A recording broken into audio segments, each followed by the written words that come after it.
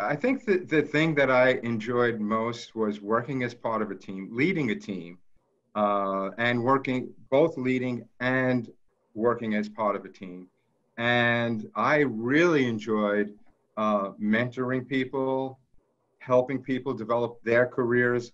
The, the most proud moment of, of my time at, at KPMG was when the people who worked for me, who un- came under my tutelage, who I was responsible for, I was able to assist them to become partner.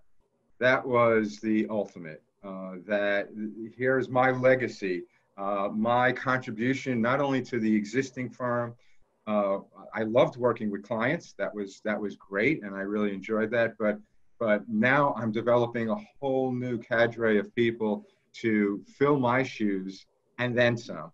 I always enjoyed working with people who were smarter than me, harder working than me, and and and more energetic than me. They always made me look really good. But the, the key was finding those people uh, and making sure that they they felt like they were part of the team, rewarding those people and developing them and giving them opportunities so that they can always make me look good. So I think the best part of, of it was uh, again, working as, as part of a team. And again, leading, leading a team is very uh, important and it's very rewarding to, to be the conductor and to watch how different people play different roles, but working together, we all have a responsibility.